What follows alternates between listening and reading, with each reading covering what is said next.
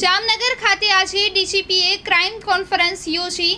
Rajkot range વિસ્તારમાં શરીર સંબંધી અને મિલકત સંબંધી ગુનાઓ મામલે એક્શન પ્લાન.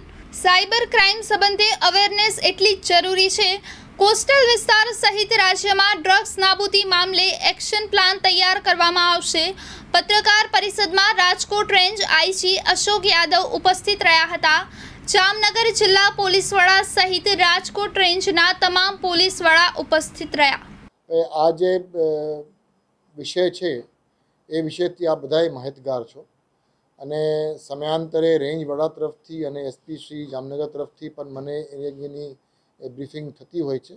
જ્યાં સુધી મને ખબર છે, આ વિષયમાં અત્યારે કોઈ ખાસ અત્યારે કંઈ થઈ શકે એવું નથી, કેમ કે એ અપીલમાં ગયા છે. અપીલમાં જે કંઈનો નિકાલ આવશે, એના પરથી એ કાર્યવાહી યોગ્ય જે નિયમ મુજબ છે, એ મુજબ કરવામાં આવશે. હાજી હાજી સાયબર ક્રાઇમ અંગે પણ આ ખૂબ ઊંડાણથી ચર્ચા થઈ છે. અને આપણે બધા એમ માનીએ છીએ કે સાયબર ક્રાઇમને ઓછા કરવા હોય, સાયબર ક્રાઇમના સંખ્યાને અટકાવવું હોય, તો સૌથી મહત્ત્વની બાબત છે સાયબર અવેરનેસ. તાજેતરમાં આપને કદાચ ખ્યાલ હશે, ગુજરાત રાજ્યમાં એક મુહિમ ચાલુ કરવામાં આવ્યું હતું અને દસેક દિવસની ઝુંબેશ રાખવામાં આવી હતી. અને આ ઝુંબેશ દરમિયાન ગુજરાત રાજ્યના દરેક પોલીસ સ્ટેશનમાં જે શી ટીમ્સ છે, એ શી ટીમ્સને એક કાર્ડ છાપીને લોકોને આપવામાં આવ્યું હતું અને એ કાર્ડમાં ચારથી પાંચ સાયબર અવેરનેસની મંત્રો, સૂત્રો એ તૈયાર કરી આ શી ટીમ્સ ગુજરાત રાજ્યના આશરે પંચોતેરથી એંસી હજાર સિનિયર સિટીઝન્સ, જે આપણા સિનિયર સિટીઝનના પોર્ટલમાં રજિસ્ટર્ડ છે, એવા પંચોતેરથી એંસી હજાર સિનિયર સિટીઝન્સને શી ટીમ્સના અધિકારીઓ અને કર્મચારીઓ રૂબરૂ જઈ એ કાર્ડ મારફતે સુરક્ષા સેતુ અંતર્ગત સાયબર અવેરનેસની પ્રોગ્રામનું આયોજન આપણે છેલ્લા અઠવાડિયા જ કર્યું હતું. અને અમે લોકો બધા એમ માનીએ છીએ કે સાયબર ક્રાઇમના ગુનાગારોને પકડવા માટેની જે પ્રયત્નો છે, એ તો ચાલુ જ રહેશે. સાયબર ક્રાઇમના જે ગુનાઓ દાખલ થાય છે, ના યોગ્ય રીતે તપાસ થાય, એ પણ જરૂરી છે. પણ સૌથી મહત્ત્વની બાબત છે, એ છે સાયબર અવેરનેસ. અને સાયબર અવેરનેસ માટે સમાજના અમુક એવા સેક્શન્સ છે જેને કદાચ આ અવેરનેસની વધુ જરૂર છે. એમાં સિનિયર સિટીઝન્સ એક છે. એ સિવાય પણ સેક્શન્સ અમુક સમાજની છે જેમાં સાયબર અવેરનેસ લાવવાની જરૂર છે. સ્ટુડન્ટ્સ છે, મહિલાઓ છે વેપારીઓ છે, એ લોકો માટે પણ સાયબર અવેરનેસ ખૂબ જરૂરી છે. અને એમ માનીએ છીએ કે જે અવેરનેસ યોગ્ય રીતે થઈ જાય તો સાયબર ક્રાઇમ ચોક્કસ એની સંખ્યા ઘટી શકશે. મેં આપને મેં મેં આપને એ જ કીધું કે દરેક પ્રકારના ગુનાઓને આપણે ગંભીરતાથી લઈએ છીએ. એ પછી મિલકત સંબંધી ગુનાઓ હોય કે શરીર સંબંધી ગુનાઓ હોય કે સાયબર ક્રાઇમ હોય કે મહિલા વિરુદ્ધના હોય કે ચિલ્ડ્રન્સ વિરુદ્ધના હોય, ગમે હોય. All all crimes are important and ગંભીર ગંભીરતાથી આપણે લઈએ છીએ. અલગ અલગ સ્તરે એનું ઇન્વેસ્ટિગેશન થતી હોય છે.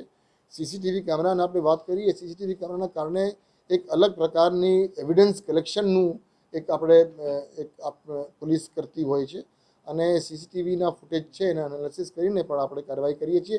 ફક્ત ફક્ત આરોપીઓ ગુનાઓ અટકાવવા માટે નહીં, ફક્ત ને ફક્ત ગુનાગારોને પકડવા માટે નહીં, પણ સીસીટીવીની ફૂટેજની યુઝેજ અલગ રીતે પણ થતી હોય છે, જેને આપણે બિગ ડેટા એનાલિસિસ કરીએ છીએ. એટલે બિગ ડેટા એનાલિસિસ મારફતે પણ આ કામગીરી અલગ રીતે થાય છે.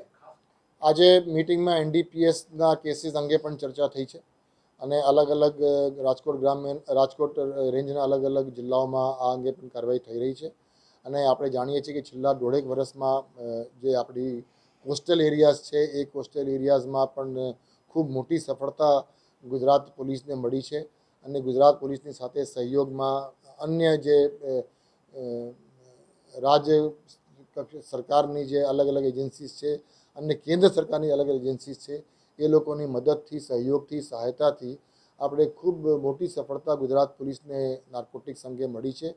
કોસ્ટરીમાં પણ મળી છે અને અંદરના ભાગે પણ મળી છે. અને એનડીપીએસ નાર્કોટિક્સ એક એવી ગંભીર સમસ્યા છે કે જેને અંગે પણ ખરેખર અવેરનેસ લાવવાની જરૂર છે. અને ખાસ કરીને કોલેજના સ્ટુડન્ટ્સ હોય, સ્કૂલના સ્ટુડન્ટ્સ હોય અથવા અન્ય સમાજના પણ જે લોકો છે, જેમ અગાઉ મેં સાયબર અવેરનેસ વાત કરી, એ રીતે નાર્કોટિક્સની જે આ બધી છે, એને અટકાવવા માટે આપણે ગુજરાત પોલીસ તરફથી જે અસરકારક કામગીરી થઈ રહી છે, એની સાથે સાથે એક અવેરનેસ લાવવાની પણ પ્રક્રિયા ગુજરાત પોલીસ દ્વારા હાથ લેવામાં આવ્યો છે કે રાજકોટ રેન્જના જિલ્લાઓમાં જે ગુનાના પ્રમાણ છે, એમાં જે શરીર સંબંધી ગુનાઓ છે, એની સંખ્યાનું વિશ્લેષણ કરી શરીર સંબંધીના ગુનાઓને અટકાવવા માટેનું એક સ્ટ્રેટેજી બનાવવામાં આવ્યું છે. અને એમાં ખાસ કરીને જે ગ્રામીણ વિસ્તારો છે અને જે રિમોટ એરિયાઝ છે, એ રિમોટ એરિયાઝમાં કઈ રીતે વધુ ઇફેક્ટિવ રીતે, કઈ રીતે વધુ અસરકારક રીતે પોલીસિંગ થઈ શકે અને ગુનાઓ બનતા અટકાવી શકાય તે અંગેની સ્ટ્રેટેજીસ અંગે ચર્ચા કરવામાં આવી. એની સાથે સાથે આશરે વીસેક ટકા ગુનાઓ જે બને છે એ મિલકત સંબંધી ગુનાઓ પર બનતા હોય છે.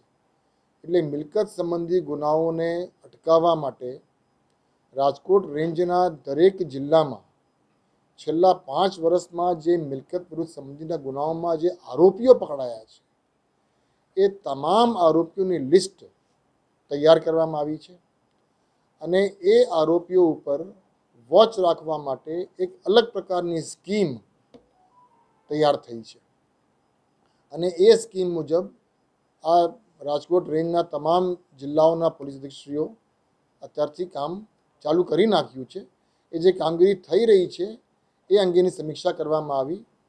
અને આરોપીઓ ઉપર, દરેક આરોપી ઉપર ઓછામાં ઓછા એક પોલીસવાળાની કોન્સ્ટન્ટ નજર રહે.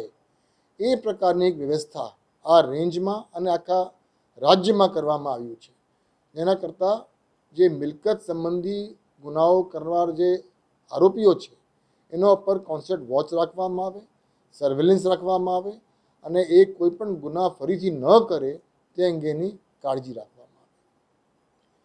એની સાથે સાથે રાજકોટ રેન્જમાં પોલીસ વેલફેરની જે બાબતો છે, તે અંગે પણ ચર્ચા કરવામાં આવી. આપણે જાણીએ છીએ કે એક વેલફેર ફંડ હોય છે, દરેક જિલ્લા પોલીસ અધિક્ષક પાસે હોય છે.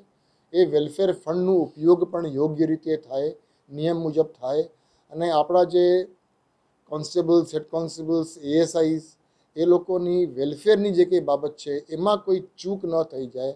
એ સમયસર પ્રમોશનની બાબત હોય યોગ્ય રીતે ટ્રાન્સફર્સની બાબત હોય, પોલીસ લાઇનમાં સગવડોની બાબતો હોય, કે અમુક અમુક સહાય જે આપવાની થાય છે આ વેલફેર ફંડથી એની બાબત હોય, એમાં પણ તમામ પોલીસ અધિકારીઓ સાથે ચર્ચા કરવામાં આવી.